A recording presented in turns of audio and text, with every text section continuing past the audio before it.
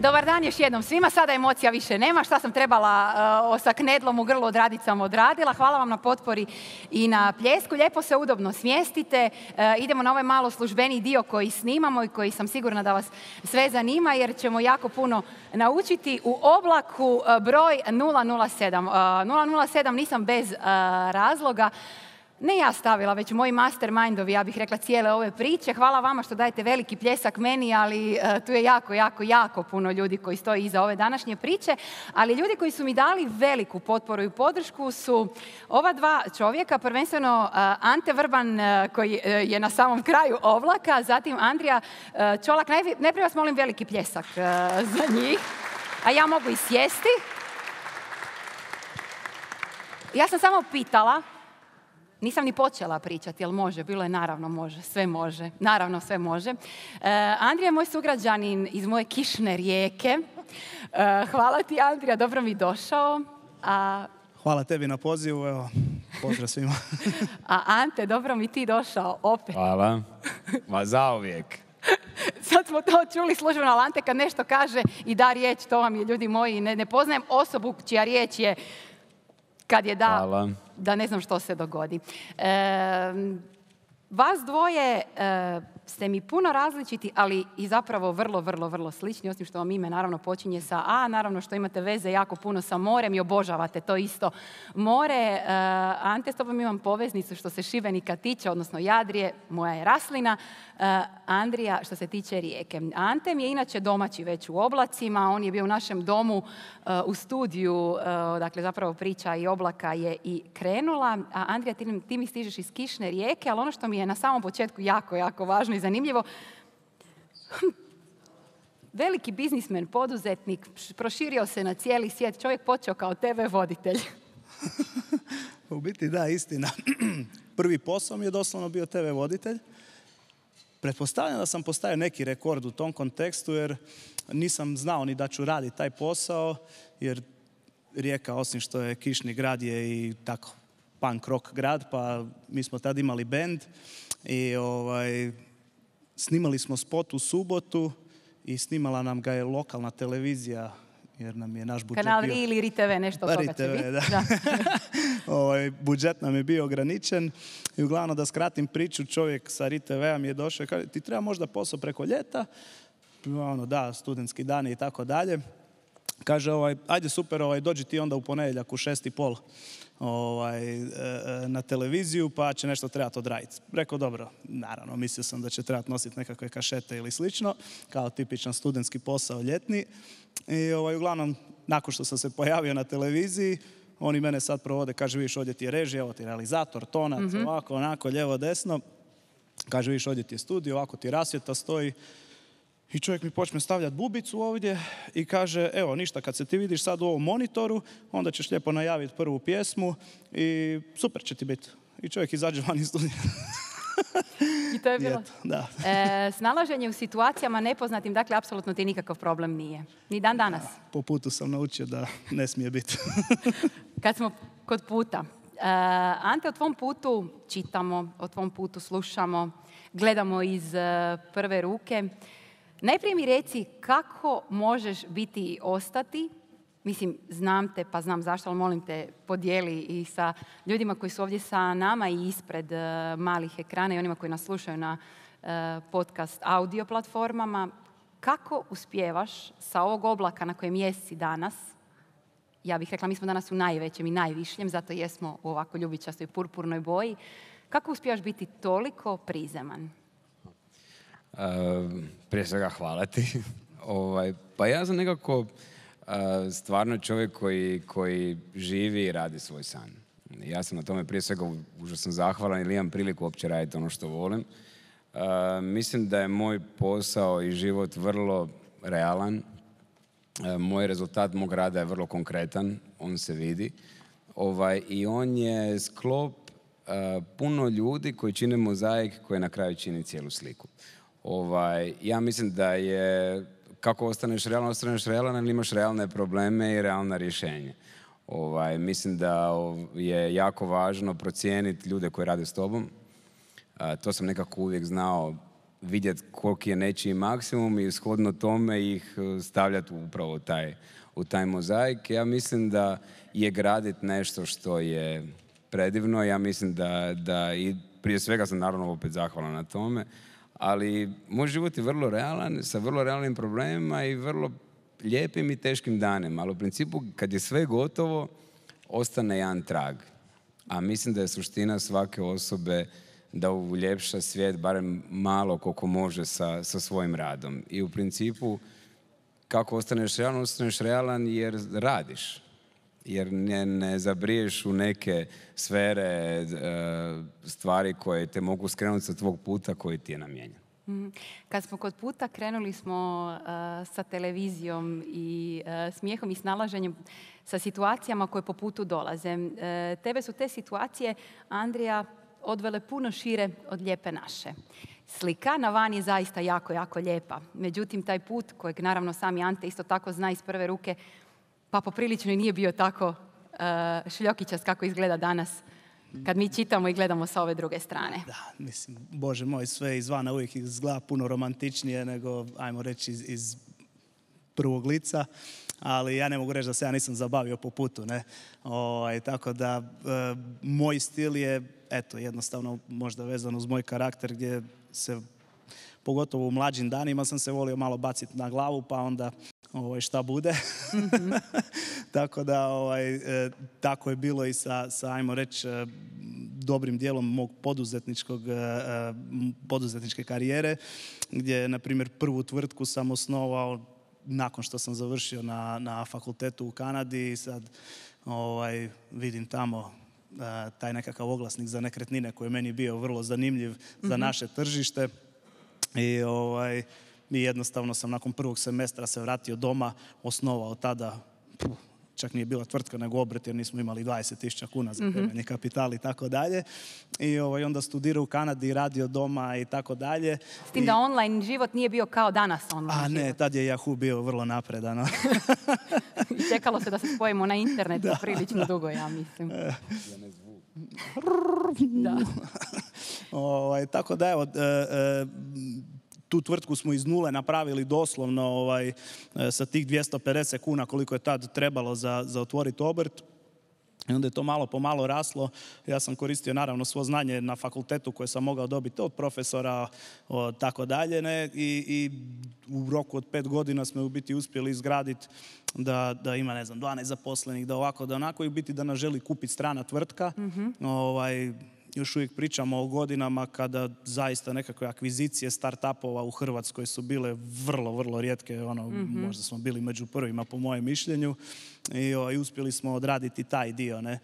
Tako da, ovaj, evo, tako išao nekako put e, tih prvi koraci u poduzetništvu, a nakon toga e, iz izdavaštva smo se bacili u krumpiriće, pak tako da opet u nešto čemu baš i, i, i, nismo imali ideje kako se radi. ali, ali ti isti krumpirići prolaze na tržištima gdje bi trebali kao biti prirodniji nego našem narodu, ako mogu to tako reći, sjajno. E, pa u biti da, ali mislim, iskreno budimo, ovaj, svi vole krompiriće, tako da. e, međutim, e, isto tako, Ante, i tvoj put je puno, puno šire izvan lijepe naše, što dokazuju brojne nagrade koje pristižu na tvoju adresu konstantno. Ti si veliki uzor brojnima, ne samo arhitektima, nego i generalno mladima. Pa to, mislim, to je stvarno velika čast. Ne znam, ovaj, nekako sam živio svoj život najbolje što sam znao kroz cijeli moj mhm. put do sada.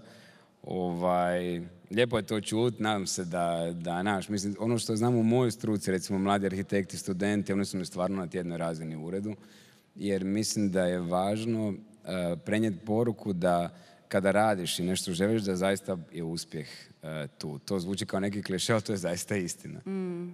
ja mislim da se čovjek mora odreći dosta stvari koje se neko ne želi odreći da bi, da bi napravio razliku. Ja sam jednostavno htio više i tu sam gdje jesam. mm nekako, znaš, ono, kada e, imaš neku domenu u kojoj djeluješ, odjednom ti ona postane tjesna i logično je da ti ekspandiraš vani. Tako sam ja počeo raditi internacionalno i zapravo sam shvatio da je posao uvijek posao, sve drugo je stvar zemljopisa. Naravno da nije lako ovaj, kad radiš u pustinji i u, na skijalištu neki šale u isto vrijeme, ali nekako sam shvatio kroz vrijeme koliki je zapravo kapacitet ne samo moj, nego i mog tima, jer ja sam zapravo ništa bez mog tima. To, Mhm. Da, jako često zapravo kad velike e, lidere slušam, spominju tim. Pa oni su ključni. Dakle, mislim, ja imam neku inicijalnu ideju i to je neki, znaš, što sam dobio od Boga, to nisam zaslužio i pitanje je da ćeš to kapitalizirati samo koliko radiš. Ali u sustavu koji se povećava, zahtjeva i određene zapravo ljude koji, u kojima moraš imati povjerenja i koji su imaju jedan jednaki drive kao i ti da naprave razliku. I zapravo, zaista bez njih ja ne postojim. Tad, ono, meni su recimo moji od svih Znaš, ono to kad se skockaš pa te vide u lijepom autu pa je to sve izgleda flashy, ali zapravo moj sukus dana je na gradilištu kojeg ja obožavam. Moji knauferi, staklari, strojari, oni su sa mnom već zapravo skoro od mog prvog projekta koji je bio sa 18 godina. Tako da su nekako smo postali, ja nekad ne kažem obitelj, jer obitelj je obitelj, ali smo postali zapravo i prijatelji koji su mi nezamjenjivi. Oni su suštinski dio mene i mog uspjeha. E, Da, i to često zapravo i pokazuješ, imamo priliku i vidjeti sa ljudima sa kojima to naravno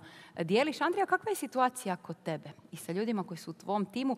Često zapravo e, ljudi spominju taj drive, e, lideri žele osjetiti taj drive od ljudi koji su u njihovom timu. Nitko ne može imati isti kao i ti, jer ti si taj koji vodiš sve. Ali kako je kod tebe? I kako su raspoređene snage? Da, pa, u, u, u mom svijetu možda su stvari malo drugčije jer e, evo zadnjih 13 godina se u biti bavimo franšiziranjem pa onda e, naš tim nije taj nekakav in-house sistem nego u biti naš tim su svi naši franšizeri koji u biti e, kojima se svidio koncept i htjeli su biti dio cijele te priče i ajmo reći stvorili su nekakvu najčešće emociju u biti prema brendu i slično. Ne? Tako da ovaj, u suštini opet se svodi to na, na, na vrlo slične stvari, e, e, bez nekakve strasti prema e, projektu, bez toga da neko zasuče rukave i, i, i- potegne, u biti jako teško može doći do ičega. Kod nas je vrlo zanimljivo jer Evo, s nekim franšizerima već radimo preko 10 godina, ne? tako da ovaj, to je lijepo za vidjeti. Obično, obično su ti ugovori na 10 godina i pred par mjeseci sam bio baš u Splitu, ovaj, pa sam se vidio sa, sa jednim franšizerom i ja kažem, e, donio sam novi ugovor i ono pogledam, kažem, pa mi radimo preko 10 godina već, ne? tako da ovaj, e, to mi je bilo ovaj, baš onako eye-opening. A ovaj, s druge strane, e, super je vidjeti jer e, sa franšizom ima taj element gdje ljudi rade pod, ajmo reći, nekakvim konceptom, ali uvijek imaju slobodu za inovaciju nekako i tako dalje. U biti unutar našeg brenda jako puno toga dolazi baš od franšizera, pogotovo iskusnih franšizera. Jer naravno da su oni na dnevnoj bazi ovaj, u, u, u doticaju i sa krajnjim kupcima i tako dalje. Ne? Tako da, ovaj, da, u konačnici se svodi to i, i, i na timski rad, iako u biti nismo dio zaposlenici iste tvrtke, nego svako ima svoju, ali smo, ajmo reći, e, svi dio iste priče. Ne? Mhm. E, Ante, reci mi, e, malo prije smo razgovarali, pričala sam u podcastu sa Ivom i sa Aleksom, smo pričali o ženskom liderstvu, muškom liderstvu i Aleks je spomenuo kako je zapravo on ima osjećaj najveća razlika između muškaraca i žena, žene puno analiziraju dok donesu određenu odluku. Sa muškarcima je to, kaže ona, malo drugačije, oni doslovno donesu odluku i idu ka njoj. Kako je kod tebe i tvojih odluka i daj mi samo ovako reci, kod tebe je lista čekanja poprilično velika. Kako ti onda odlučuješ kome? Pa je, kako- prvo imam sreću da su mene odgojile u principu samo žene. Tako da ovaj, mi je mozak malo razvijeniji nego što bi možda to trebao biti. Hvala na iskrenosti. Da. Ovaj, ja mislim da da e, ne mogu, mislim, pametna i vrijedna osoba je pametna i vrijedna osoba. Ja to nikad nisam, ja u svom timu imam i muškarce i, žene na pozicijama koje su, nisu striktno za muškarca ili ženu po nekim, nekim normama. Ovaj, a, da li treba ženama duže da donesu odluku? Mislim da ne. Mislim da, žen- da žene dosta emotivnije pr- prolaze to. Mi smo dosta gluplji pa smo i brzo pleti. Ali ovaj, nekako kad uzmeš taj, taj cijelu domenu razmišljanja, mislim da čovjek mora razmišljati doslovno van kutije. Ja, ja sam vidio ljude koji su mega uspješni i svi su mega jednostavni. Znaš, e, trudim se nekako e, shvatiti šta je sukus života i šta je suština, suština života i uvezano i na poslovno i sve zajedno. Tako da u principu nikad nisam dijelio na muškarce i žene, niti tako gledam. Recimo Alex je moja prijateljica skoro cijeli život, ali mi je ujedno i klijentica u tom trenutku kad radimo zajedno. Ona donosi odluke vrlo konkretno i vrlo brzo jer zna šta želi. Mislim da, je, da se dijeli više po karakteru, da li neko zna što želi u tom mhm. zadanom trenutku ili da, i da li ima mogućnost to realizirati. To su jedina dva pitanja mm vezana, vezana u mom poslu što se tiče realizacije. Tako da, to je to. Dobro. Andrija, kakva je situacija e, sa tobom? Spomenuo si mi malo prije da si se često bacao na glavu. mm Pa, evo, ne znam, ako, ako ostajemo na temi ovih e, donošenja odluka, e, tu sam, ja mislim, iznimno brz, može čak nekad i prebrz. Sigurno nekad znači? prebrz. šta to znači? To znači da se zna dogoditi da zbog nekakve brzine donošenja odluke se donese i dijelom pogrešna odluka, ajde da diplomatski to kažem. Ovaj, ali eto, u biti e, više pripadam onoj skupini koja e, voli prototipizirati stvari. Ne? Dobro. Znači, ono, ok, idemo trial and error, dok ne pogodimo šta je u biti prava stvar, e, ne vjerujemo u onaj pristup gdje sad, ne znam, moramo jako dugo razmišljati da bi doneli odluku u kom smjeru ćemo ići i onda je to to. Ne, mhm. više volim tako, ok, ajmo probati, pa da malo vidimo u biti kako tu sad, ne znam, rezonira to šta god e, e, radimo, pa onda nakon toga donesemo sljedeću odluku, pa sljedeću i tako, ne znam, možda x puta prije nego što stvarno dođemo tamo gdje trebamo biti. Da, iz prve ruke znam da nerijetko jedan i drugi e, vrlo ste otvoreni dati savjet, pomoć mlađem kolegi, jako ste otvoreni. Pa mislim da je to važno. Mislim da je znanje koje imaš i ako ga ne preneseš, onda nestane u, u didaskali. Mm. mislim da je suština da, da budemo svi kao društvo bolji nego što jesmo. To možemo samo ako dijelimo sve međusobno. Ja nisam nikad bio tip koji taj moj sistem, ja jednostavno ga radim i živim najbolje što znam i kada, naravno da tu ima i krivih odluka nekad, ali uglavnom su to odluke koje sam donio po nekoj svojoj intuiciji. Ja, mm ono, ja nikad nisam bio tip koji može raditi za nekoga, jednostavno nisam takav sklop. Ja volim vladati situacijom, volim kontrolu nad situacijom i volim odgovornost koju mi taj posao daje. I apsolutno stojim iza toga. Tako da u tom smislu, znaš, moraš prenijeti da bi sve bilo bolje. Prošlo je vrijeme u kojem neko drži ruku dok piše zadatak iz matematike. Njih smo imali posebne nazive u razredu za takve osobe, ali, ali takvi ljudi nisu ni uspjeli. Tako da u principu nekako podijeliti ono što je dobro ili da neko uči na mom primjeru što nek možda nije dobro ili tako ja učim na nekim uh, primjerima ljudi koje ja smatram uh, da, da, da žive dobar život. Mm-hmm. Andrija, kod tebe? O, apsolutno, ono, da, mislim, slažem se da smo napokon došli u nekakve razine ovaj, civilizacijske, da, je, da smo svi shvatili da je puno jednostavnije dijeliti znanje, pa čak i, i, i, u nekom kontekstu konkurencije i slično i tako dalje, da, da nekakav taj element onako držim sve za sebe i slično u biti e, ne pomaže u konačnici nikome. E, baš evo i, ta industrija u kojoj se ja nalazim, sukus te industrije upravo to dijeljenje know-howa, odnosno znanja, tako da evo, ne znam, u franšiznoj industriji u biti ti kao franšizer dobiješ apsolutno znanje od nekoga koje je već nešto odradio i tako dalje. I to mi se mhm. uvijek sviđalo jer je nekako win-win e, e, za jednu i drugu stranu, odnosno kad je ovome dobro i ovome dobro i ovaj, e, dosta neobičajeno u biti za ove prostore, e, e, pogotovo pred deseta godina, ali vidim da sad ljudi to počinju prihvaćati, jer nekad bi rekli ono, pa čekaj, ti sad njemu kažeš recepture svojih umaka. Ja kažem, pa da, kako će ih napraviti inače, ne? Mm. tako da evo, i, i, i, u konačnici, ne znam, nekakve sljedeće razine koje poslije radiš i konzulting ljudima da bi im pomogao da naprave cijeli taj model i, i, tako dalje, ne? Tako da, apsolutno da, i ono, to je kompletno normalno. E, s time da naravno e, moramo negdje i neku crtu povući, naravno da postoji i nekako intelektualno vlasništvo koje ja smatram da ipak se treba poštovati mhm. i, i, da nije lijepo kad radimo kopiju od kopije od kopije i tako dalje, nego da u biti mhm. poštujemo ako je neko nešto stvorio i da pokušamo biti napraviti možda bolje ili drugčije. Ne? Dakle, da evo, nekad ljudi malo i pomiješaju te stvari pa mislim da je mhm. bitno ovaj, odrediti malo granice tu. Jasno, to naravno s vremenom ste kako dobro naučili. Ono što mi za vas dvoje e, također isto jednako, jako volite sport. Jednom si mi prilikom Ante rekao, jo, pa moram trenirati puno da moje tijelo može izdržati što ja sve želim sa svojom glavom napraviti i postići. Pa je, ja treniram tri ili četiri puta tjedno Ovaj, najgore je kad ono, e, bi ti mozak htio dalje, a tijelo ti nema snage. U, u, trenutno mislim da sam u naponu neke svoje snage u godinama i sve. Mislim da je od mene se očekuje da dam svoj apsolutni maksimum na svim poljima. Ja zapravo, kad legnem u krevet, moj mozak i dalje Radi. se vrti, ali ja se nekad moram doslovno fizički premoriti da bi pao nesvijest do, do jutra. Ovaj, kad, kad radiš recimo taj nekakav, bez obzira šta radiš, ovaj, ja mislim da je, kad odlučiš biti u svom segmentu postan majstor te igre, moraš dati svoj apsolutni maksimum. Ja ne mogu biti trom pred kompjuterom i crtati, ja moram biti aktivan jer to u principu je i rezultat mog rada onda takav. Ja sam to dosta rano shvatio, mislim da je, da je to važno. Svaka osoba je potpuno drugačija i potpuno drugačije građe i drugačijih potreba i svega, ali ja sam nekako našao model kako da ne pretjeram, a da nekako bude u nekoj harmoniji ta moja luda glava i tijelo. Da. Da, slušaš sebe dosta. Pa slušam jer, e, mislim, niko ti ne može reći šta je dobro za tebe osim tebe samog. Mislim da svako jutro kad se pogleda ogledalo zna točno šta je napravio krivo, šta je napravio dobro. Ja mislim da je savjest jedan jako dobar element koji, koji čovjek koji, koji u koristi je ne pretvara u strah, nego je pretvara u svoju prednost, mislim da možeš jako profitirati od toga.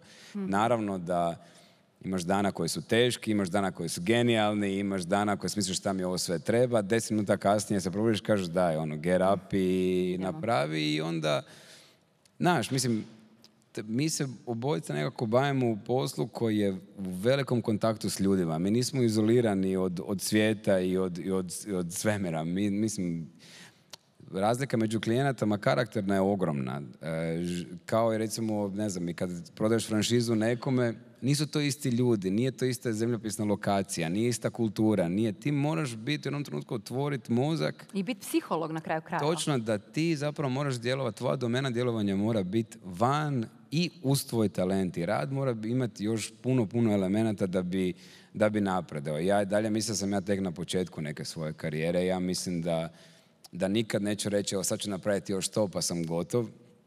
Jer mislim da je neograničena mogućnost ovaj, razvoja eh, i u nekako i u društvu, i u arhitekturi, i u stanovanju, i u svijesti o ekologiji, o našoj planeti, šta ostavljamo iza sebe.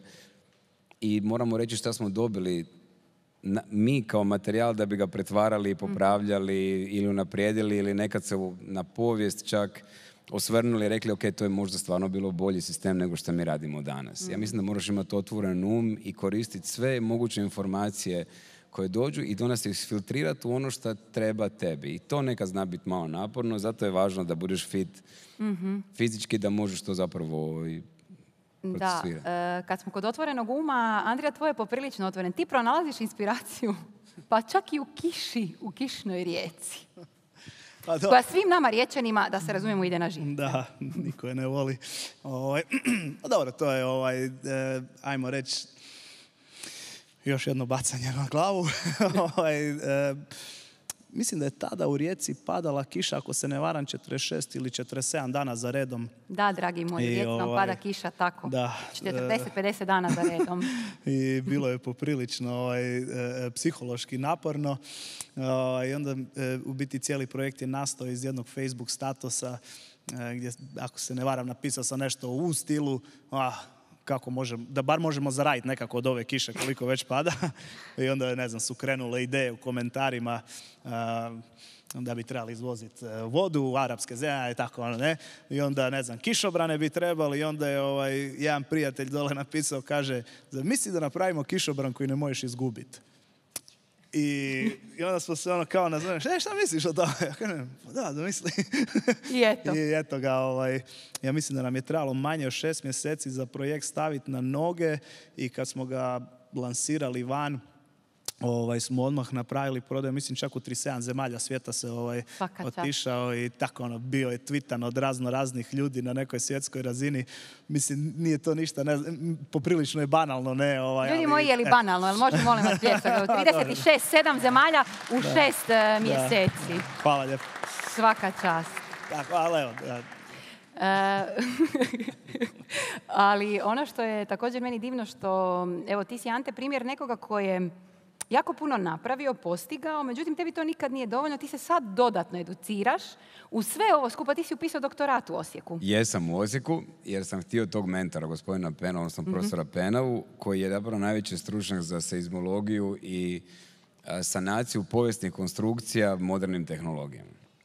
Ja sam smatrao uvijek nekako najbolje lokacije na svijetu su uvijek u centru grada, bez obzira ovaj, šta ko rekao, ali je u principu ta lokacija ti, ti nasljeđuješ određenu kulturu arhitekture koja je, koja je u tom gradu posebna. Da bi mogli ići naprijed i u nekom konstruktivnom smislu, arhitektonskom smislu i kulturnom smislu, mi moramo unapređivati te konstrukcije koje jednostavno stare. To je jednostavno tako. Tako da sam zapravo obratio sam profesoru Penam i upisao sam doktorski studij u, na sveučilišku u Osijeku.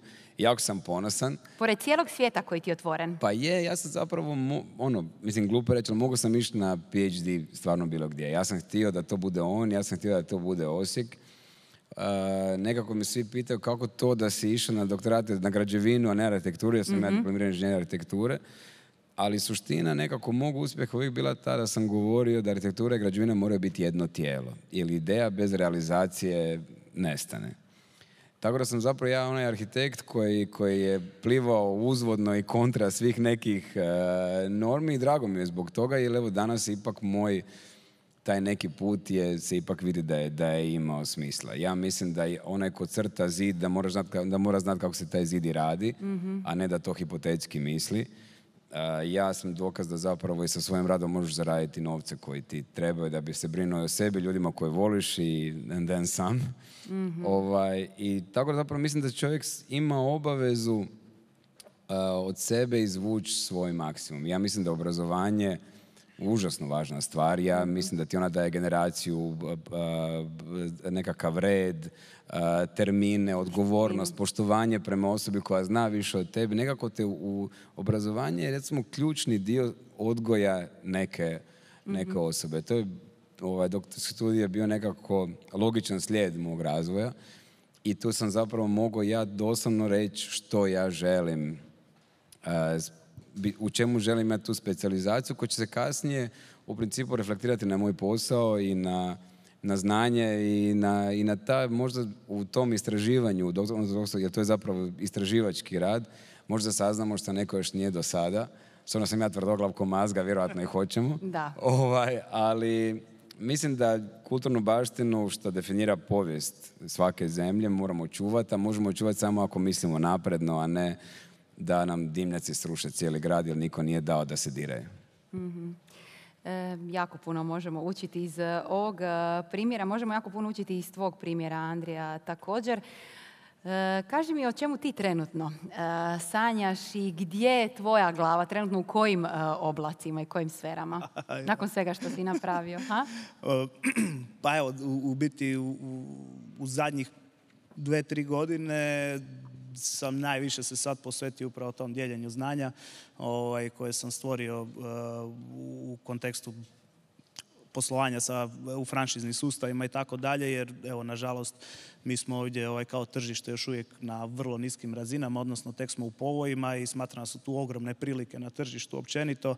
Mislim da se ovaj, e, e, sa franšiznom industrijom može riješiti jako puno problema što se tiče i radnih mjesta i ne znam, da imamo više poduzetnika općenito u državi i tako dalje i, koncepata koji su stabilniji, e, gdje upravo su stabilniji zato jer je neko podijelio znanje koje je stekao opet u, što god je već e, e, radio tijekom godina i tako dalje. Tako da evo, e, trenutno sam baš u tome, pomažem e, e, isto tako e, lokalnim brendovima da možda slome nekakve mentalne barijere ovaj, e, e, nekakvih granica ne e, koje su realno imaginarne, ovaj, znači, kao što je Ante rekao, u biti možeš poslovati zaista svagdje u svijetu, iako smo mi jedne krumpiriće mogli ovaj, prodati tako svagdje, ovaj, onda vjerujem, kako bi rekao, da postoji jako puno, još i puno boljih ideja i koncepata i realizacija, ali je poanta da, da, da, da čovjek ono, mentalno izađe van toga i da, da jednostavno ovaj, shvati da može izaći van i, i, i da to nije nikakav problem i da u biti bi to trebao i napraviti. Jer može, a vi ste najbolji dokaz da se može. Molim vas pljesak za moje sugovornike i oblak 007. E, Hvala vam puno.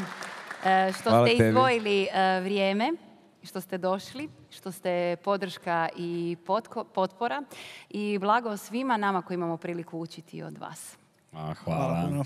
To bi bilo sve za ovaj podcast. Družimo se uskoro opet.